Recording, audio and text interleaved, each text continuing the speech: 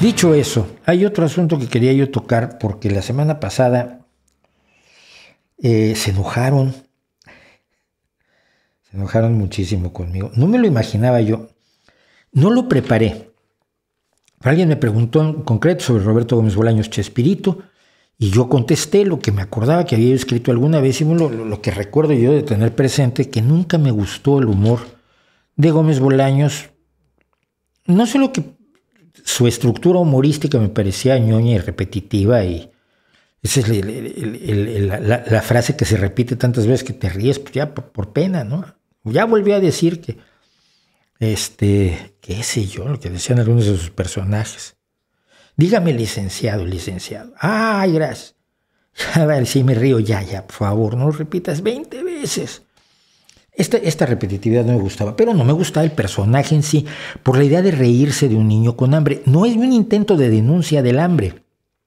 Es un intento de utilizar como objeto de mofa y befa un niño que muere por un, que sueña con comida y que nunca tiene comida. Hombre, hacerse burlarse o hacer humor con el hambre para desentrañar o para desenmascarar a quienes provocan el hambre, a quienes ayudan a mantenerla, me parece muy válido. A lo mejor es válido reírse de los niños con hambre. No estoy diciendo que haya que cancelar a Chespirito, ni que haya que prohibirlo, ni mucho menos. Simplemente a mí no me gusta. Nunca me gustó, siempre me pareció que el personaje del Chavo del Ocho era deprimente. Y luego todos los demás, la gente se reía de ellos porque tenían ciertos defectos físicos. Eh, estaba la bruja del, 68, me parece que era, que era una mujer cuyo defecto era ser vieja, entonces todo el mundo se burlaba por su vejez. Estaba el señor Barriga, que todo el mundo se burlaba de él porque era gordo. Pero estaba otra señora de la que se burlaban porque era delgada, y estaba otra persona que se burlaban porque era bajita. Y otro que se burlaban porque era alto, y como me parezco a él, todo el mundo me sale, creen que son originales con el chiste, ay, te pareces al profesor Girafales, o fucking what.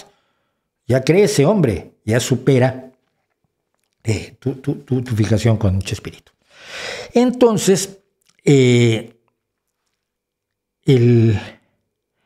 la reacción fue violenta. Pero era un, segmento creo que de dos minutos o tres y me insultaron hasta decir basta. Que cómo me atrevía yo, que si era yo un amargado, que si no entendía el humor, que si quería yo cancelar a Chespirito, está más muerto que todo. No hay nada, nada que cancelar allí, está muy bien, que les guste, pero a mí no me gusta. Tampoco se trata de que se les enrollen los calcetines porque a mí no me guste algo que a ustedes les encanta. Pero había yo también hablado de otra persona, entonces vamos a hablar de lo ya para quedar mal con todos, ¿vale? Y esa persona, por supuesto, es Mario Moreno Cantinflas. Nunca me gustó. De niño lo veía yo y me parecía raro. Porque por un lado decían que él era la representación de lo que en México se llama el peladito, el, el tipo listo, aguzado, pícaro de las clases bajas que de alguna manera engatusa a los otros, como de alguna manera lo, hacía, lo hacía Chaplin o lo hacían los, hermanos Marx. Entonces, de alguna manera engatusa a los otros para sobrevivir, eh, sobre todo engatusa a la gente social, en instancias sociales superiores a él, y eh, para zafarse de los problemas, inventó una forma de hablar que era hablar mucho sin decir nada, cosa que tampoco inventó, pero lo, lo hacía, digamos, con cierta gracia. Al principio. Al principio era gracioso, muy repetido, te ríes por pena. Te ríes porque crees que debes seguirte, te ríes porque crees que te han dicho que es gran, gran comedia. Si les gusta a ustedes muy bien, a mí no me gustaba mucho. Porque conforme fue desarrollándose y haciendo sus grandes películas, sus últimas películas, eh, establecía que la única forma que tenía ese pobre, ese peladito, ese barrendero, ese don nadie que llegaba a ser embajador, ese personaje del pueblo, de alguna manera víctima de las circunstancias de su sociedad, la única forma que tenía de salir adelante era asumir los valores de aquellos que lo, que lo oprimían, de aquellos que lo cabajeaban de aquellos que mantenían un sistema que no le daba oportunidades, de los que se burlaban de él. Entonces tenía que hacer respetable su religión. Acuérdense que hizo el, Padrecito también como película lamentable hasta la pared de enfrente. Había que aceptar su religión, su dinero, su sistema político. Y entonces ya triunfabas, pues el mensaje no me hace mucha gracia. Es decir, hay una cierta serie de circunstancias que precisamente el trabajo social es para cambiarlos, para que haya más oportunidades para más gente y el hecho de someterse y rendirse y hacerse parte, para que, para que no te peguen, hacerte parte de los que pegan, tampoco me parece un ideal a difundir como, como, como aspiración social. Eh, durante 44 años la repetición de los líos de palabras a mí me parecen demasiados, demasiados años. Porque él dejó, y esto es importante desde el punto de vista meramente del análisis del humor, él dejó de probar sus cosas en el, escenario. Los hermanos Marx hasta el último día, hasta sus últimas películas, iban y probaban los chistes en giras por teatros. Entonces iban anotando qué chiste funcionaba, qué funcionaba, qué no funcionaba, arreglaban, modificaban, ordenaban, eh, reescribían y redirigían y reactuaban los sketches para tener un producto humorísticamente funcional.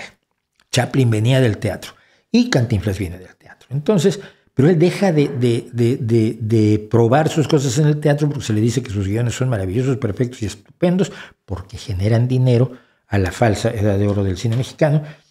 Y entonces en todas sus películas acabó siendo el mismo personaje, haciendo lo mismo y pasando por procesos similares para llegar a finales idénticos, acudiendo a la sensiblería más elemental sin profundidad, sin tridimensionalidad y sin contexto.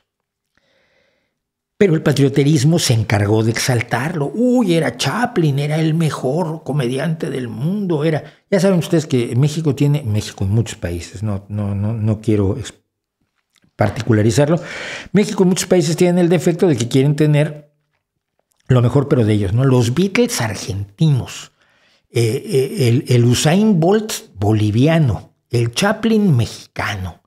Nuestro himno es tan bonito como la marsellesa, dicen en México, y son dos himnos de unas sanguinarios brutales, se baña de sangre todo, se mata un montón de gente, son, muy bonitos. Pero bueno, eh, el peladito de Cantinflas siempre me pareció que era un poco tonto, siempre me pareció que lo presentaba como alguien medio imbécil que se zafaba con astucia pero no con capacidad de inteligencia ni con conocimiento. Parece muy poco versátil como actor, pero mi problema más grande es con Mario Moreno. Mario Moreno fue un líder de la iglesia, Mario Moreno fue un líder del PRI. Mario Moreno se adscribió a la secta de la gnosis de Samael a un hueor, que es una locura de, de secta que todavía funciona por allí. Y sobre todo, y lo que me molesta más especialmente, y allí no van a hacer que me caiga bien, por más que hagan, echen mano del patriotismo y de, del análisis del humor, compró a un niño. Comprar a un niño no está bien. Si hemos estado en contra de la venta de niñas en México, pues comprar a un niño no está bien. Eh, él estaba casado con Valentina Ivanova, una de tres hermanas que sus padres habían traído de Rusia cuando, en 1919 eh, para huir precisamente de la Revolución Rusa. Y tenían una carpa y ellas eran bailarinas. El Cantinflas trabajaba en la carpa, se casó con. Se, tuvo relaciones con Valentina Ivanova, se casó con ella, pero ella no podía, o él no podían tener hijos. Uno de los dos no podía tener hijos, o alguna circunstancia no permitía que tuvieran hijos. Y entonces, en septiembre de 1960, llegó con un bebé Mario Moreno Cantiflas y le dijo a su mujer, toma, mira, acabo de comprar este bebé. Un recién nacido. Ese era hijo de una estadounidense llamada Marion Roberts, una chica de 21 años. Se dice que era hija de Cantinflas, se dice que el hijo era de Cantinflas o que no lo era, que era de otra persona.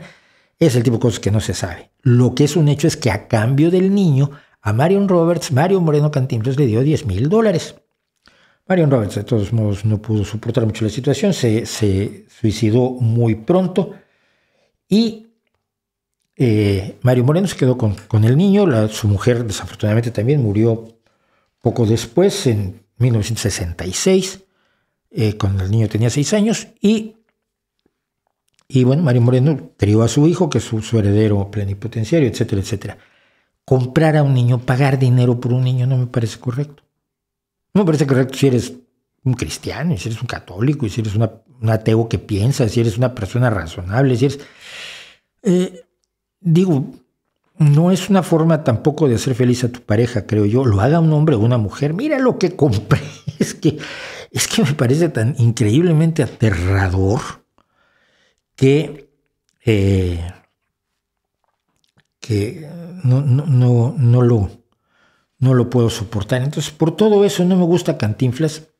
No me parece tan despreciable como Chespirito pero tampoco me parece algo que llame demasiado la atención. Sabemos que Chaplin tenía defectos, sabemos que todo el mundo tiene defectos, pero hay de defectos a defectos. Yo tengo además el problema como mexicano que ha vivido en el extranjero. Es que todo el mundo espera que hables como Cantinflas. Es que todo el mundo espera que seas como Cantinflas. Es que la imagen que crea Cantinflas es una imagen con la que tenemos que cargar todos. Uno esperan que cantes rancheras. Oye, mira, es que las rancheras terminaron su ciclo en los años 60. Es una música que se potencia en la edad de oro del, cine mexicano en los años 40 con Jorge Negrete, luego con Pedro Infante. Eh, hay un gran movimiento este de reivindicación del, de, las, de los grandes latifundios que hace el cine mexicano en contra del campesino revolucionario. Eh, y, genera algunos personajes extremadamente interesantes como José Alfredo Jiménez, pero termina su ciclo en los años 60, 70. No, no, no hay rancheras de los años 90, no hay rancheras del siglo XXI. No hay temas que se canten. No, no, pero tú tienes que cantar rancheras. Cántame una de José Alfredo. Por Dios, entre tú y Sabina me vuelven loco. Entonces también eh, está ese problema. Yo siempre he tenido que luchar contra la imagen y la figura de Cantinflas y de Chespirito de las rancheras al estar fuera de, eh, por el mundo y decir además, México es eso y es mucho más. Y México también es eh, la música de Manuel M. Ponce y México también es la pintura de Remedios Varo o de, o de María Izquierdo. También es, México también es eh, Real de 14 y Jaime López. Y México es muchísimas cosas más en lo musical, en lo artístico, en lo cinematográfico. Ahora tenemos por lo menos directores que han demostrado una verdadera edad de oro del cine, desafortunadamente fuera de México, porque en México no hay quien pague aquello, no hay quien invierta. Siempre fue el gobierno el que invirtió haciendo el peor cine del mundo, pues gastando mucho dinero en, en el cine. Pero uno lucha contra esos estereotipos cuando sale al mundo. Y, esto les pasa a todos, la, gente de todos los países. ¿eh? Yo conozco gente de todos los países, los japoneses tienen que luchar contra, contra ciertos eh, eh, estereotipos, los chinos sufren contra estereotipos, los árabes. Todo mundo enfrenta estereotipos, pero pues a mí son estos y no me gustan. Me gustaría que la imagen de el país del que provengo pues fuera más amplia, intensa y, y completa, ¿no? Es, mucho pedir, pero no es solamente culpa, por supuesto, de Cantinflas y de espíritu, es culpa de, de, que el pensamiento simplificador nos impide ver lo, complejo. El otro día me decía alguien, ¿y cuál es, eh, cuál es la mayor mentira que se ha dicho sobre los europeos? Porque los europeos existen. ¿Cómo? Me dice, pues sí, los europeos no existen. Es decir, no hay una, salvo que viven en el continente europeo, pero no todos y no todos los que viven en el, continente europeo son europeos, no hay nada que una a todos los europeos. Se ha tratado de construir una unión política que está llena de agujeros y que todavía necesita revisar muchas cosas. De eso hablaremos con Jonás Fernández en, noviembre. Pero hablar de Europa como una unidad, hablar de África como si fuera un país, hablar de China como si no fuera una multiplicidad de regiones y etnicidades, que incluso el esfuerzo uniformizador de, Mao Zedong no logró destruir. Eh, hablar de, América Latina como si fuera un, pequeño pueblo, como decían los, los, del grupo Los Prisioneros de Chile, un grupo de rock maravilloso. Latinoamérica es un pueblo al sur de Estados Unidos. Esa hipersimplificación que hacemos con los seres humanos que nos rodean es un problema grave que tenemos, yo creo. Eh, no nos vemos en nuestra complejidad porque es más fácil simplificar nosotros contra ellos. Y el tribalismo, que es el padre del nacionalismo, que es el padre de, los estereotipos, es yo creo uno de nuestros grandes enemigos. Un día voy a hablar de los, de los, eh, de los nacionalismos para que más gente se enoje conmigo, porque ahí sí no fallo.